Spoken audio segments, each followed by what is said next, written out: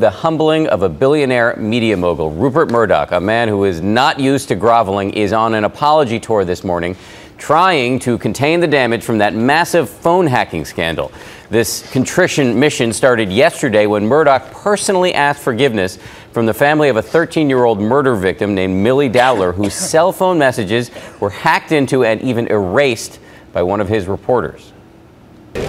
Uh, can you tell us precisely what you said? No, I'm not going to say anything further. I just said that the founder of the company, I was appalled to find out what had happened.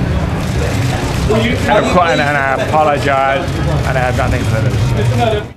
But Murdoch does have something further to say. He is continuing his apologies this morning, saying sorry now to all of Britain.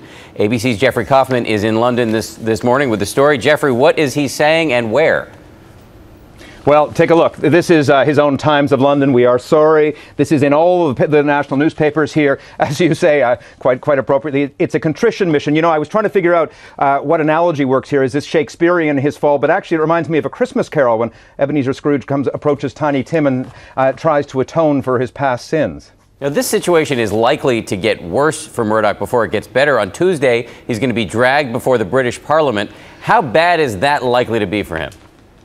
I think that the entire world on cable TV will be watching. This is going to be quite the spectacle. He did not want to go. In fact, he said he wouldn't go and then realized that was yet another public relations fiasco. He and his son James and Rebekah Brooks, his shamed lieutenant, uh, will all appear before Parliament. And I think you're going to see the, the modern day version of a public flogging. It's going to be ugly. And, and his son James himself is really not out of hot water yet. His son James could face some serious charges in this. Indeed. And here in the U.S., we're really watching this as a human drama unfolding uh, involving a very powerful man. But over in the U.K., it's been called the British Watergate. Why is that?